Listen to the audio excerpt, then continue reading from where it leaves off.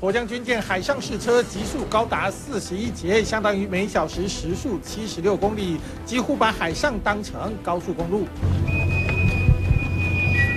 就连总统蔡英文上任到海军基地，就先来试乘沱江军舰，对这艘国建国造军舰信心满满。海军更规划打造出更大型的。沱江军舰，光从这艘排水量五百吨的沱江军舰来说，上头可是挂满雄二与雄三飞弹箱，共十六枚。海上乘风破浪，海军计划二零二五年之前将陆续打造三艘七百吨沱江军舰，更不排除有一千吨的沱江出现，不仅可能承载超过更多反舰飞弹，还有中科运从未正式装载的海舰零。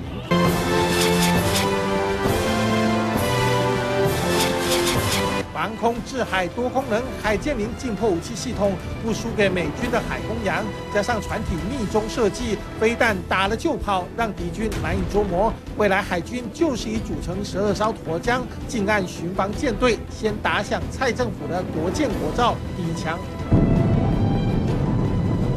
海军舰龙级前舰在反潜操演中担任重要任务，全体就备战部署，全体就备战部署。国军只剩下两艘舰龙级前舰能作战，最需要的水下战力迟迟买不到。总统蔡英文接见美国重量级参议员马凯后，传出好消息：美国总统奥巴马明年一月卸任前对台公布最新军售，特别是履行过去已经承诺但是未达成的项目，暗指出售前舰作战系统，要求台湾扩充国防预算。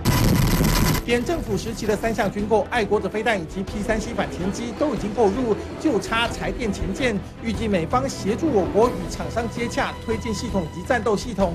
另外，爱国者三型还有空投水雷，也是国军争取的项目之一。国内拥有相关技术的船舶中心、中科院、台船、中研院等，却像多头马车，缺乏跨部门整合单位。当然，还有更关键的。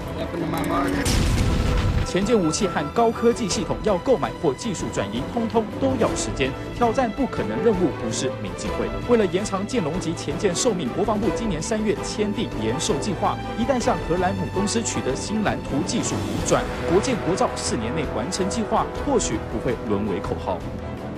蔡英文总统上任之后，很多人就想说，国建国造现在到底有没有一个谱？是不是雏形已经出来了？C 军。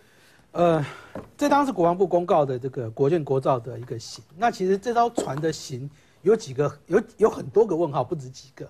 第一个，它我们国家没有战略核子飞弹，所以我们应该是用攻击潜舰或者是猎杀潜舰为主。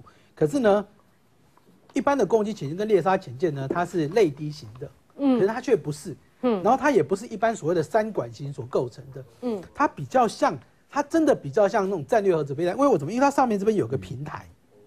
然后第二个是呢，我们国家一直走美系系统，但是呢，它的这个顶顶舱或者叫鬼顶，这个顶舱却是二系的阿库拉 fish 鲨鱼级的顶舱构型。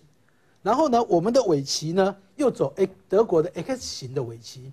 然后最特别的是，我们这个地方呢，本来想说会不会装脱衣声呐，没有，它现在可能装一个侧旋声呐，这个又是日本的。所以，我们可能是考虑了各家各型，考虑到我们的国土情形去用。嗯，然后依照刚刚所讲，我们可能会用的呢，大概就是第一个 MK 四十八鱼雷，这个威力够强大了，可以把整艘军舰炸到飞起来再掉下去。然后第二个是浅色式的浅色式的鱼叉鱼叉飞弹，这个我们确定也买了，而且它已经使用过了。然后这个呢，我是觉得我们应该可能会用。这个其实也是俄国人发明的，他们把防空飞弹装在潜望镜上面。就是说，当你在升到潜望镜空间的时候，因为一般的潜舰升到潜望镜空间，它已经声呐全部都已经扫过，确定旁边都没有船，听不到声呐了，听不到那个螺旋桨的声呐，它才会浮上来。可是呢，那时候你不知道天空有没有反潜机啊，反潜 P 三 P 八或者是反潜直升机啊。那如果有怎么办？我潜望镜一看到，我就用潜望镜就直接打。那打那个也不难，刺针飞弹，一九八零年代从阿富汗飞弹打到现在，现在最好用的。而且体积够小，我们这边装四枚其实就够用了。嗯，这样子的加起来呢，其实就有可能是我们未来真正要浅见国造的终极构型。嗯。